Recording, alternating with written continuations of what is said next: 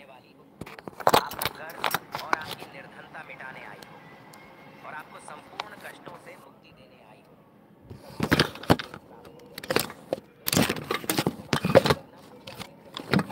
तो ये संकेत मिलने शुरू हो जाएँगे।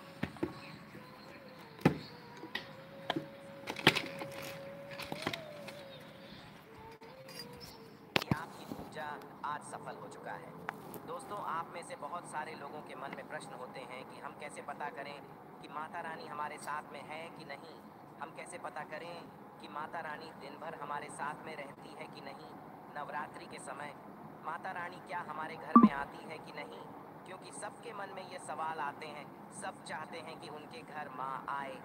तो दोस्तों, ये जानकारी मैं आज के इस वीडियो में बताऊँगा दोस्तों। सभी भक्तों को माता रानी अपने होने का एहसास सभी को कराती है कि माँ दुर्गा ने महिषासुर नामक राक्षस का वध किया था।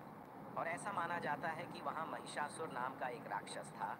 उसे भगवान ब्रह्मा ने अमरता का वरदान दिया था और इस आशीर्वाद के कारण महिषासुर पृथ्वी से लेकर स्वर्ग तक सभी को परेशान करने लगा। ऐसे में सभी देवी देवता उसके अत्याचारों से चिंतित होकर ब्रह्मा, विष्णु और महेश के पास जाते हैं। तब दोस्तों तीनों देवताओं ने आदिशक्ति का आह्वान किया। तब दोस्तों भगवान शिव, विष्णु और अन्य देवताओं के क्रोध के कारण उनके मुख से एक ज्योति प्रकट हुई और वह ज्योति एक स्त्री में बदल गई। इस तरह माँ आदिशक्ति प्रकट हुई। इसके बाद अन्य देवताओं ने उन्हें अस्त्र शस्त्र प्रदान किए। तब माम दुर्गा ने महिषासुर को चुनौती दी और नौ दिनों तक युद्ध चलने के बाद दसवें दिन माँ ने महिषासुर का वध कर दिया। ऐसा माना जाता है कि इन नौ दिनों के दौरान देवी माँ ने नौ रूप धारण किए और राक्षसों का वध किया। इसी कारण से इसे नौ दिनों तक नवरात्रि के रूप में मनाया जाता है। और आपको बता दें कि शास्त्रों में चैत्र नवरात्रि का विशेष महत्व माना गया है। दोस्तों, ऐसा माना जाता है कि नौ दिनों तक चलने वाले चैत्र नवरात्रि के दौरान व्यक्ति मानसिक और शारीरिक रूप से मज़बूत होता है। मनुष्य की आध्यात्मिक शक्ति बढ़ती जाती है।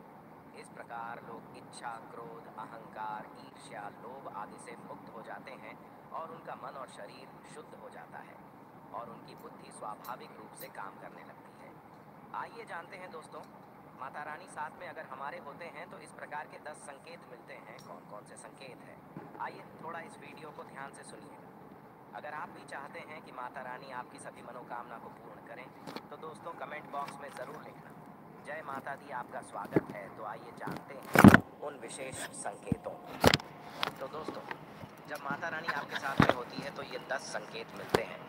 और दोस्तों, आपको प्राचीन ज्ञान चैनल के माध्यम से उन दस संकेतों के बारे में बताने जा रहे हैं, जिससे आप पता लगा सकते हो कि माता रानी आपकी पूजा पाठ से प्रसन्न है, माता रानी आपके साथ में है।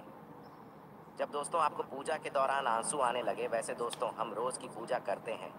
लेकिन आँसू नहीं निकलते। लेकिन नवरात्रि के समय जब आप पूजा करें और आँसू आने लगे तो समझ जाना माता रानी आपके साथ में है। या फिर अगर आपको पूजा के दौरान ऐसा लगने लगे कि कोई आपके पीछे में खड़े हैं तो समझ जाना माता रानी आपके साथ में, हमेशा आपके साथ में है। वह ऊर्जा स्वरूप बनकर आपके साथ में खड़े रहते हैं, ये प्रथम संकेत है दोस्तों। दूसरा संकेत है कि अगर जुगनू टिमटिमाते हुए आपके कपड़े या शरीर पर चिपक जाना दोस्तों, अगर जुगनू टिमटिमाते हुए आपके कपड़े या फिर शरीर में चिपक जाए तो समझ जाना, माता रानी आपके साथ में है। क्योंकि दोस्तों जुगनू को जोगिन कहा जाता है और यह माता रानी की परम सेविका है, जहाँ पर माता रानी की शक्तियाँ होती हैं। यह माता रानी का ऊर्जा स्वरूप होती है और माता रानी का जहाँ ऊर्जा स्वरूप होता है, वहाँ पर जाकर के स्वतः ही चिपक जाते हैं। तो आपके साथ में माता रानी रहेंगे तो आपके शरीर में स्वतः ऊर्जा शक्ति जागृत हो जाएँगे। तो ये आकर के ज़बरदस्ती चिपकने लगते हैं। दोस्तों, तीसरा संकेत है कि रात में अचानक से झटके के साथ आपकी नींद खुल जाए तो समझ जाना माता रानी आपके साथ में और माता रानी आपको जगाना चाहती है और माता रानी आपको कुछ संकेत देना चाहती है। इसके बाद चौथा संकेत है कि आपके आसपास में अगर इत्र है, लोबान है, धूप है, चमेली है या फिर अन्य पुष्प, जो कि आपके घरों के आसपास में नहीं पाए जाते हैं, लेकिन फिर भी आपको उसकी सुगंध आ रही है। तो समझ जाना चाहिए कि माता आपके साथ ही मौजूद है। माता रानी जब आपके पास में होते हैं तो दोस्तों